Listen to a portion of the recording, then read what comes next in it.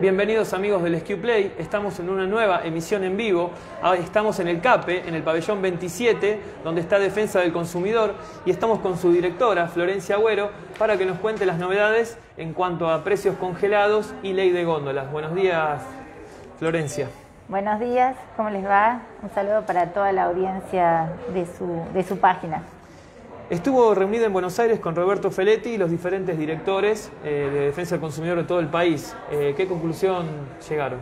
Bueno, exactamente, fuimos citados por el secretario de Comercio Interior de la Nación, eh, por Roberto Feletti, para, digamos, diagramar y organizarnos para llevar a cabo, digamos, el efectivo cumplimiento de la resolución 1050 en el territorio, en los distintos territorios provinciales.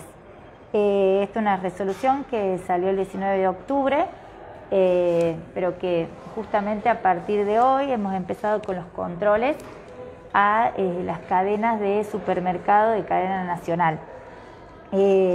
esta es una resolución que viene como a unificar todos los programas que veníamos, que veníamos controlando de Nación, porque bueno, Anteriormente este, nosotros veníamos controlando precios cuidados, precios máximos.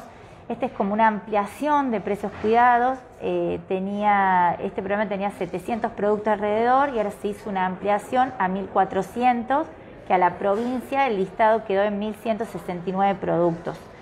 Eh, son productos de la canasta básica, son de alimentos, bebidas, higiene personal y limpieza. Eh, nosotros vamos a empezar de manera eh, gradual en los eslabones de la cadena de, comercialización, primero con los eh, supermercados de cadena nacional y luego con los mayoristas y los supermercados de la provincia.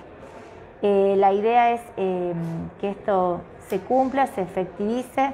Nosotros en el día de hoy estamos intimando a la adecuación y también este, relevando cuántos productos este, tiene cada cadena de comercialización de estos productos para saber cuál es su 100%, porque depende del formato del supermercado, son la cantidad de productos que va a tener en góndola respecto al programa.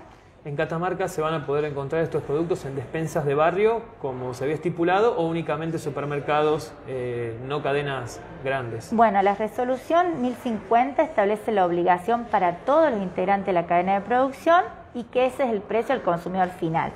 Este es el resultado deseado en la medida de que vamos avanzando en, eh, en el control de esta cadena, porque justamente desde Nación se comprometieron a eh, fiscalizar a los mayoristas y proveedores de alimentos, porque son a quienes les compran los comercios de cercanía. Entonces, a medida que avance la fiscalización en Nación, van a poder adquirir los comerciantes al precio para poder venderlo a ese precio al consumidor final.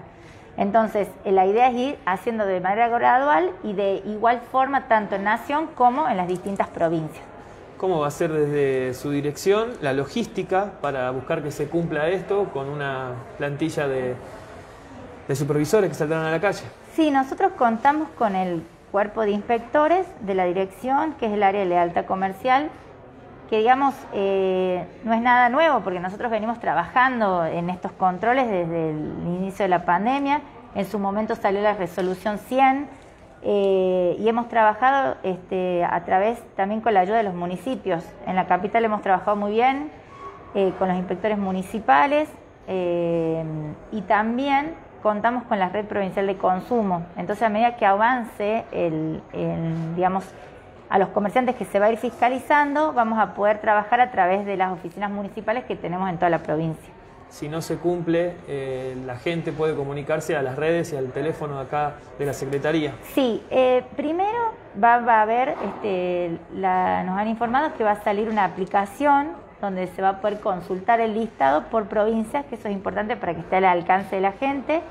Vamos a habilitar, este, nosotros trabajamos ya con un formulario web que es eh, accesible, digamos que está colgado en el portal de gobierno, de, en la página del portal de gobierno, donde se busca defensa del consumidor y después hay un botoncito que dice realizar una denuncia o solicitar una inspección. Dentro de esa opción de solicitar una inspección estaba, por ejemplo, incumplimiento de la resolución 100.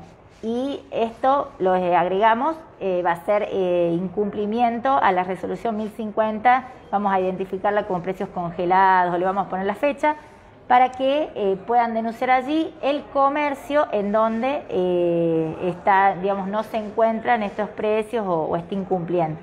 Y luego a las facultades de sanción, la provincia está adherida a la ley 2680, que es la ley de abastecimiento, por lo tanto vamos a tener la posibilidad de realizar las actas de infracción y también de sancionar en el caso que, sea necesario.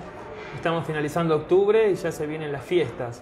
¿Ustedes cómo se preparan desde, este lugar eh, y si es un trabajo constante que tienen que hacer de cara a las mayores ventas del año que sean en, Navidad, ¿no? En fin de año. Exactamente, como refirió el, secretario de Comercio eh, de Nación, eh, dijo que esta última etapa es la que mayor este, volumen de ventas se estima, porque bueno, estamos saliendo de la pandemia, entonces va a haber un gran movimiento y eso va a generar justamente nosotros, eh, no solamente en, esta, en este tipo de controles, sino también en todas las leyes de lealtad comercial, de defensa del consumidor, que bueno, que es nuestra tarea diaria, digamos, en el ámbito de esta dirección.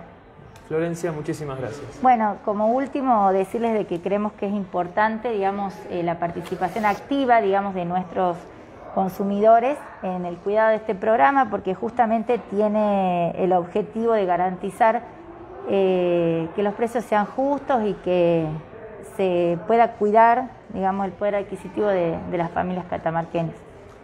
Muchísimas gracias. Esta fue la palabra de Florencia Agüera, eh, Florencia Agüero, perdón, directora de Defensa del Consumidor, hasta una nueva emisión del SQ Play. Muchas gracias.